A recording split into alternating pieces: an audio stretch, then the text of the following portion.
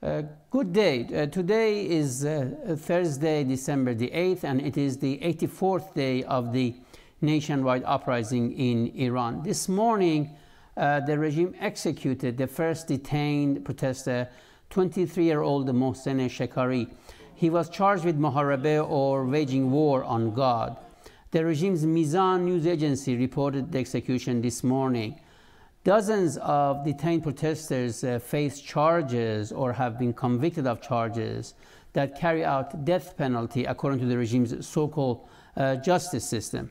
Activists are warning that others could also be put on death as at least a dozen people so far have received death sentences over their involvement in the demonstrations.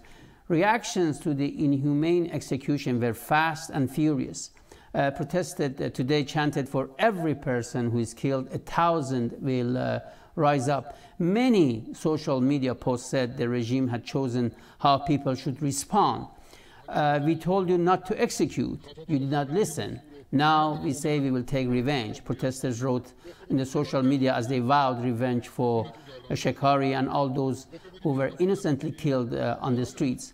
A number of activists in Iran, including in Tehran and Karaj, belonging to the MEK affiliated resistance units, told international media outlets that execution of Shekari will only strengthen the uprising.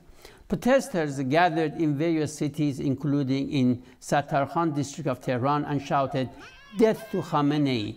Uh, was, uh, was arrested in this district. The people of uh, Ponak district in Tehran also staged a night protest and chanted, Death to the dictator, death to Khamenei. Protesters also installed a big banner of uh, Mohsen Shekari's revenge on the major Hemmat highway in Tehran. And this evening, protesters in Neka, which is in Mazandaran province, set ablaze the regime's public prosecutor's office there. In another aspect of the ongoing protest, store owners in at least 80 cities were on a strike, and dozens of universities and schools across the country saw their students boycotting the classes. People throughout Iran were involved in an uh, expansive three day campaign that included anti regime protests, rallies, uh, gatherings, demonstrations, and marches.